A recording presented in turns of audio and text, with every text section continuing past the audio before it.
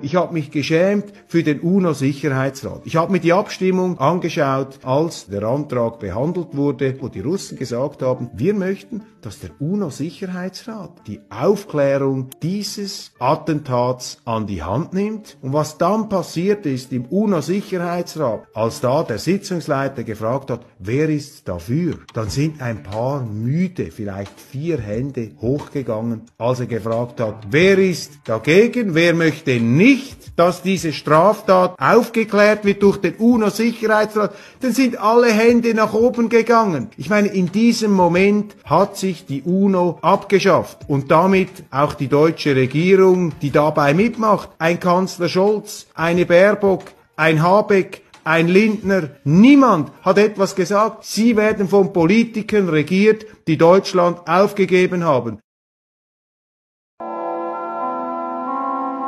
Сегодня нам предстоит проголосовать по проекту резолюции о проведении под эгидой Генерального секретаря ООН международного расследования диверсии на газопроводе «Северный поток» в Балтийском море в сентябре 2022 года.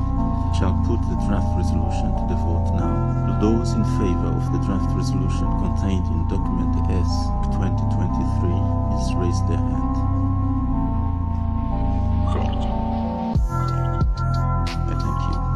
Those against?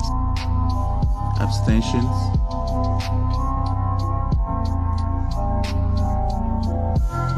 Three votes in favor, zero votes against, 12 abstention. The draft resolution has not been adopted, having failed to obtain the required number of votes.